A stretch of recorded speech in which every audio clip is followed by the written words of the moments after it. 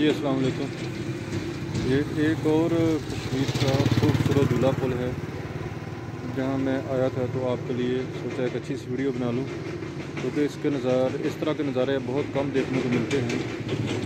देखो, आवाज़ आ रही होगी कि जब ऊपर से कोई बाइक या गाड़ी गुजरती है तो ऐसे होता है जैसे ट्रेन की आवाज़ आ रही हो। तो चले थोड़ा आगे चल के आपको दिखाते हैं कि ये किस तरह है और कितनी लंबाई है इसकी, ये देखें। ये काफ़ी लंबा है। मेरा ख्याल में दो से तीन सौ मीटर लंबा ये झूला पुल है। तो ये काफ़ी मज़बूत बनाया गया है। इसके फर्श में लकड़ी नहीं लगाई गई, बल्कि लोहे की प्लेटों से ये पुल बनाया गया है। ये आप देख रहे होंगे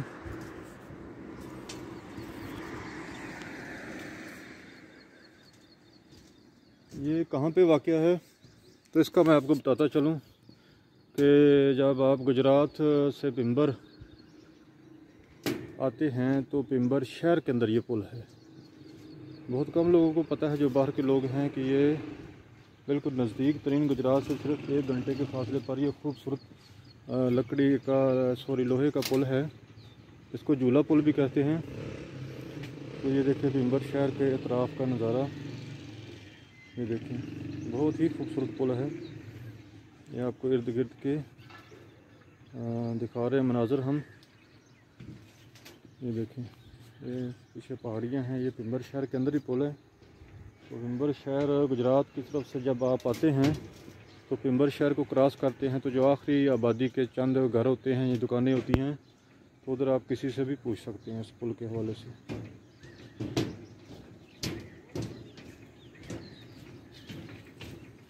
देखिए बहुत ही खूबसूरत पुल है। थोड़ा सा और आगे जाते हैं और आपको दिखाते हैं। अच्छा ये देखें, ये नीचे से सड़क गुजर रही है। इस पुल के नीचे से पक्की सड़क है। तो ये पिंबर शहर से जा जब आप इंटर होते हैं गुजरात से तो वहाँ से एक बाईपास जाता है। ये वो सड़क है जो बाईपास की तरफ़ से पिंबर शहर को क्रॉस करके तो फिर आगे चौकी सुमानी रोड की तरफ़ जाती है। तो ये बिल्कुल पिंबर शहर का समझिए बाईपास है। जब अगर आप इधर से आएँ तो ये पुल बिल्कुल आपको आ, इसके आप नीचे से गुजरेंगे और आपको ये देखने को मिल जाएगा। थोड़ा हम आगे जाते हैं।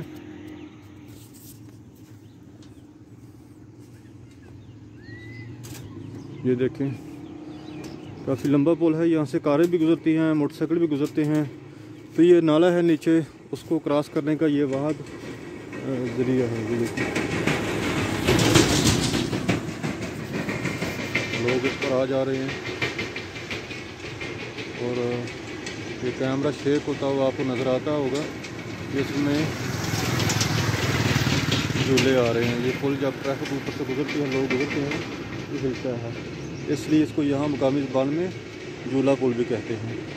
तो ये इसके नीचे देखें आप नाला भी है। सड़क के साथ नाला है। ये बरसाती नाला है। रूटीन में भी इसमें पानी कुछ ना कुछ बहता है। ये देखिए बहुत ही खूबसूरत मनाजर है। जिनको कैच करने के लिए मैं यहाँ आया था।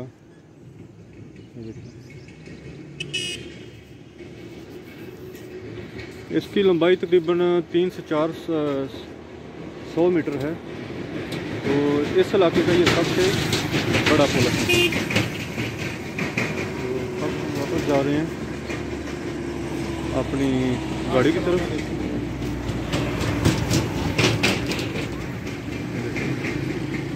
एतराफ़ के मनाजर हैं। तो ये बहुत ही खूबसूरत मनाजर हैं। तो अब हम वापस जा रहे हैं अपनी बाइक की तरफ़। आप देखिए लोग गुजर रहे हैं और ठक ठक की आवाज़ आ रही है। इसकी वजह है कि ये इसके नीचे लोहे की प्लेटें लगी हैं, जिनकी वजह से ये आवाज़ पैदा हो रही है। तो ये काफ़ी मज़बूत पुल है। है तो काफ़ी पुराना लेकिन मज़बूत है। अभी भी इसमें वो ताकत है स्ट्रेंथ है अभी इसमें। तो इसलिए इसके मुतबादल पुल बनाने की ज़रूरत महसूस नहीं हुई। गो के और भी रास्ते हैं पार जाने के, लेकिन क्योंकि ये एक पुराना पुल है, यहाँ से लोग आने जाने के आदि हैं तो फिर इसी से इसी पुल के ज़रिए वो आर पार जाते हैं। जो आबादी है, पार पार भी काफ़ी आबादी है तो वहाँ लोग जाते हैं। तो इसका जो साइडों पे पिलर बनाए गए हैं, वो भी आपको दिखाता हूँ थोड़ा पीछे से जाकर। वो भी काफ़ी बड़े बड़े हैं। ये देखिए, ये दोनों साइडों पे पिलर बने हुए हैं। ये देखिए। और ये पिलरों के ऊपर से तारें आ रही हैं, ये देखें। ये तारे गुज़र के तो वहाँ पे जाके वो सामने एक बड़ा मज़बूत कंक्रीट का ब्लॉक सा बनाया गया है। उसके अंदर लगी हुई हैं।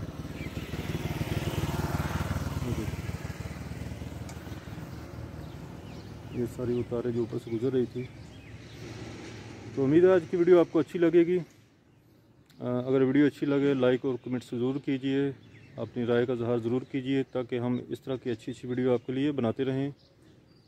हमें दीजिए इजाज़त। अल्लाह हाफिज़।